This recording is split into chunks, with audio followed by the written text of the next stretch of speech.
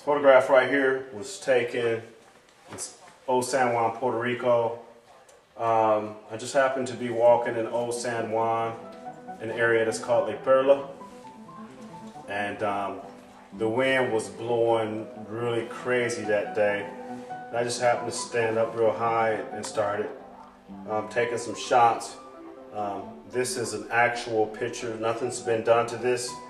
Um, I don't know exactly what color film I shot this one on, um, but if you notice, the, the waves was coming, you know, um, right there by the cemetery.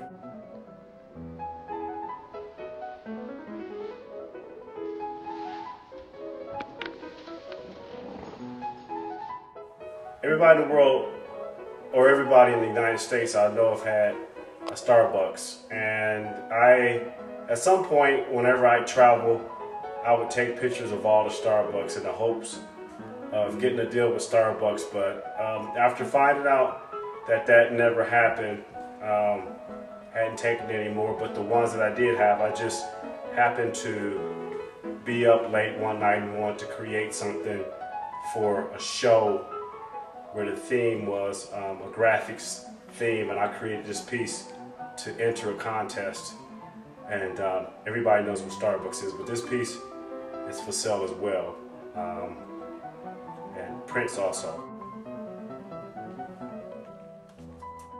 I've never sketched before, and uh, I had a Sharpie, and I was watching the CNN headline news, and was just falling a falling victim of all this information that was given to the whole world on television, I just started sketching. And I'm not going to reveal any of my political views in regards to what's going on. But this is just something that um, I came up with. I went ahead and, and, and finished it. And um, my friend um, gave me the title, um, which you can see at the top. so if there's anybody interested in, in, in using this in their magazine, New Yorker or something like that, then that's fine as well. I may get it framed, I, I may not, but it's just something that I was mainly doing um, in my spare time. Um, in regards to my political views, I, I won't reveal that, but I'm just an artist.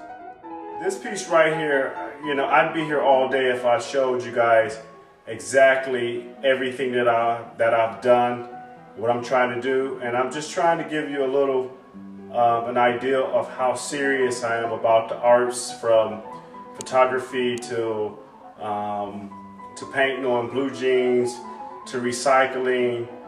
I, I just love art, um, and this will be my last piece for this series. It's called The Struggle because um, in the arts you have to have really thick skin. You have to love what you're doing. Um, and this last piece of, is a piece of my two sons. This is an actual shot that I, that I staged um, in the Everglades. If you want to see anything else that I've done, go to yessy.com slash blackjack or you can go to blackjacksonpollock.com. Also, I'm open to do shows anywhere all over the world. I'm constantly painting, taking pictures, working in the arts.